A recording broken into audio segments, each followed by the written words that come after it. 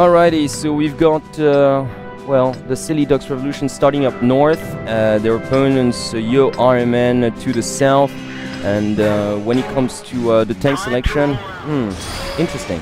Yeah, slightly varying there. Yoe Ironmen going with a slightly heavier setup, going with three heavy tanks, one medium, one light, whereas their opponents, the Silly Ducks, going with only one heavy tank and two mediums and two lights. So, Yeah, yeah, yeah. um, slightly more mobility coming out from the Silly Ducks. However, the Silly Ducks are starting up north, so they do have the option of sending a couple of things to the It's west. a surrounding maneuver, yeah.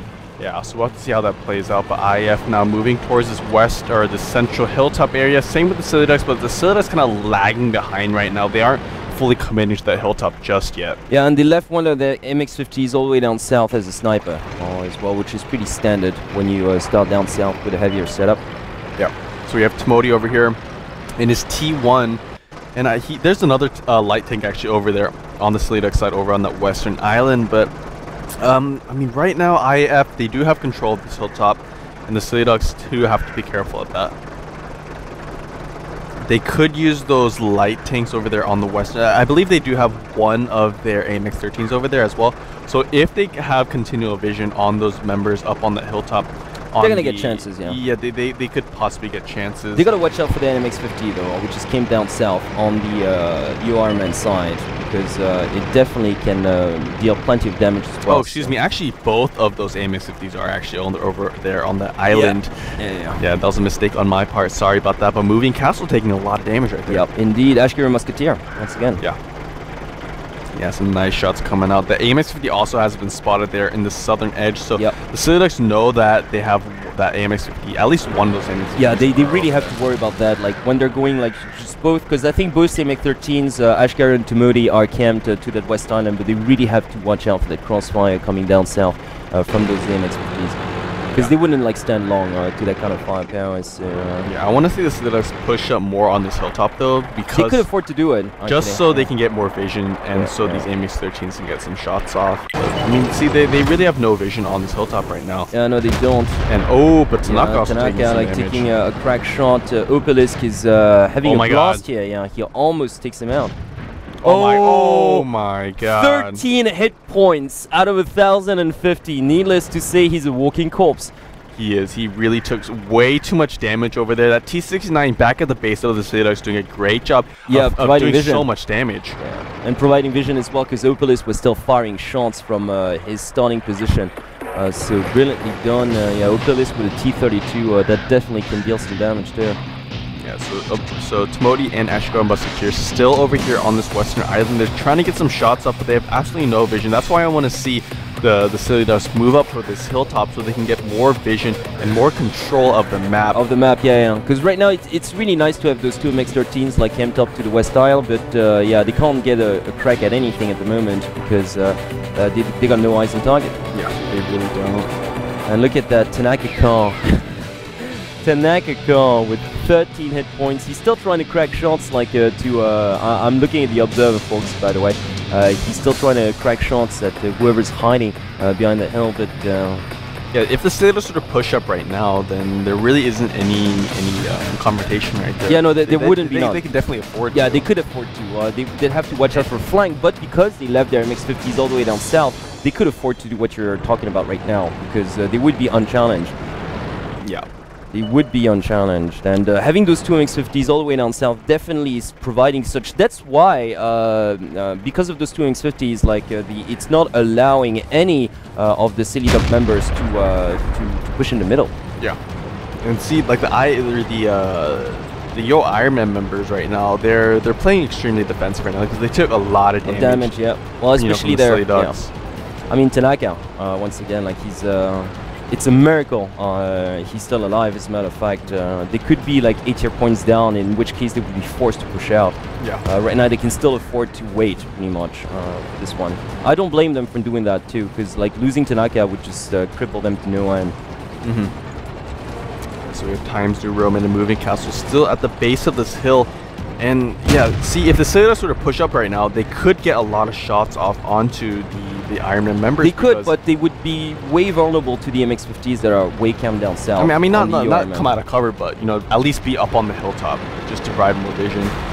Oh, the Silly Ducks are they have moved. No, they're actually at the base of the hill right now. Two of their uh, T69s over there. Around, they are moving up though. Yeah. Yeah, are- look at that. Uh, meanwhile, speaking of Tanaka, uh, who's like so low on hit points with his WZ-132, he's he's uh, taking a, he's having a peek at the west aisle uh, up here, but he should really be careful though. Yeah, definitely. I mean, if those AMX 13s do decide to continue to push down south on the western island, Yeah, he'd be a he, goner. He could be Uh, in trouble. Yeah, yeah. And uh, if they lose Tanaka, then uh, potentially they could lose the set because the tier point advantage.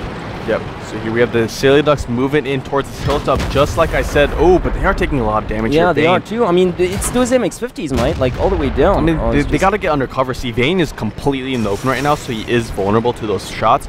And here we have Timoti also trying to get some pot shots off. And because right now, um, Iron Man, they aren't in a position to fully engage this, especially with Tanaka solo and a bunch of the other members being uh, low, and those AMX 50s over there on the West Yeah, Island. They, they would have like in a in a central confrontation they would have the advantage, but I gotta say that Timoti is like uh, uh, doing so much damage here as well. Uh, TMDK had to flee out of this pretty much Yeah.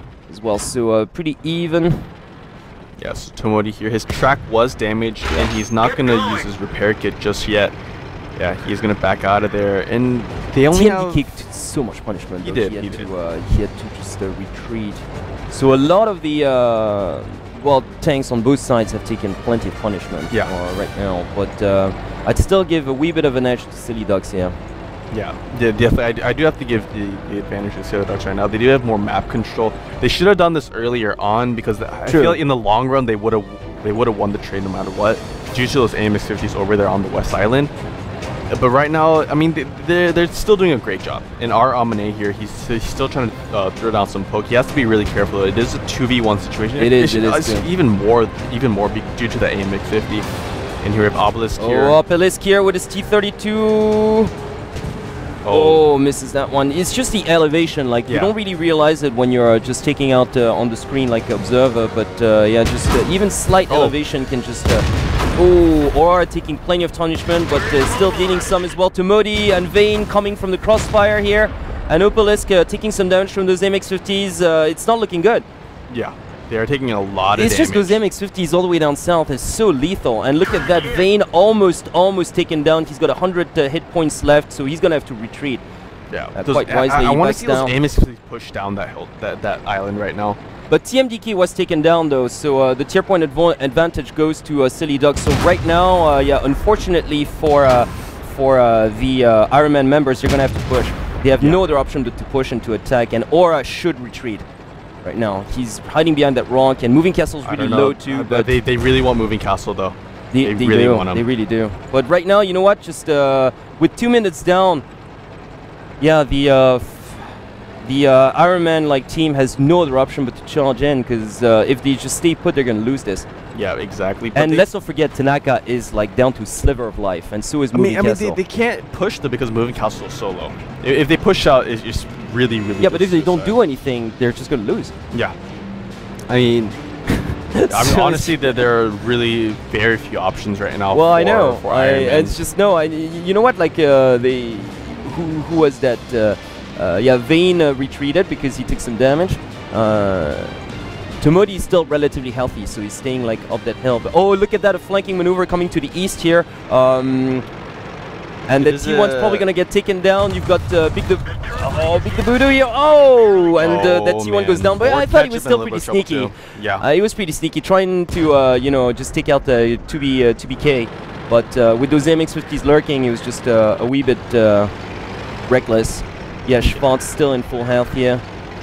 Tomodi actually came over here. Oh, and Schwartz taking some damage here once again, and oh, Oh, and then the tank goes out. down. Okay, that's gonna do it, folks. Yeah, moving castle gets taken Yeah, out there. that's it.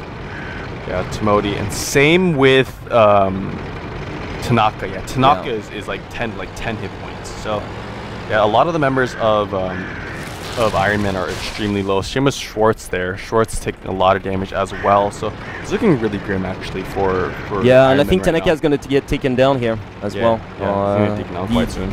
The the uh, MX13 was was on the hunt. I saw a, a red dot blip. Uh-huh. So uh, yeah, he's expecting a flank. Look at that. He's just like hiding behind that rock. But uh, yeah, I I think um, yeah, they're just happy to wait this out. I mean, there's nothing uh, the Iron Man members can actually do. Yep. So this is about 15, 14 seconds now remaining, and it looks like this final set will actually go to the Silly Ducks. So Yep. congrats to them. Indeed, uh, so for three weeks in a row, they shall be participating to the Masters League. Silly Ducks